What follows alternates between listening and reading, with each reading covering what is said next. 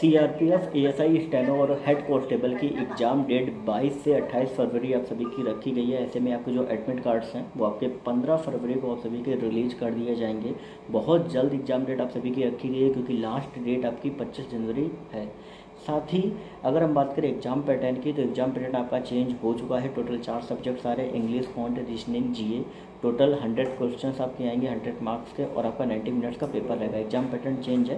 बाकी आपको detail video मैंने बता दी है जो कि सी आर की प्लेलिस्ट में मिल जाएगी ओके